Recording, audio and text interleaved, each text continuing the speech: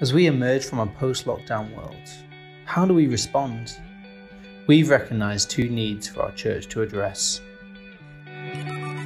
We're a nation plagued by loneliness. In fact, our government have actually seen fit to appoint a minister for loneliness to specifically focus on tackling that problem. After experiencing the enforced separation from our friends, our families, our loved ones over the past year, I think most of us know what it's like to feel lonely. And most of us realise actually we need deeper community.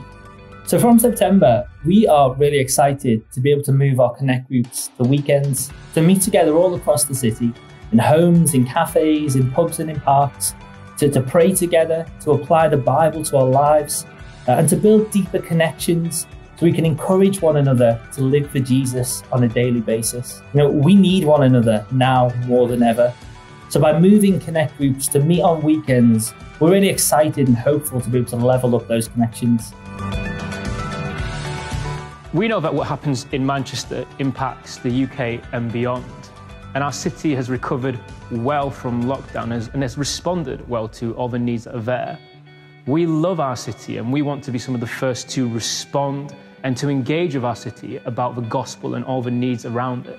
But that can feel tough, complex, and overwhelming, especially in this changing climate, which is why we're really excited to announce Equip, a gospel centered, accessible, and relevant midweek training track that will help us engage with our city. It comes in two forms. There's a main training track that will cover big picture topics such as the gospel in life, cultural engagement, and emotional health. And then there are specialized training tracks that will deal with our different aspects of life. So if you're a parent, you might want to go to the parent training track. There is one for different workplaces, be that the NHS or creatives. And there are some for interests as well, like Christians in sport.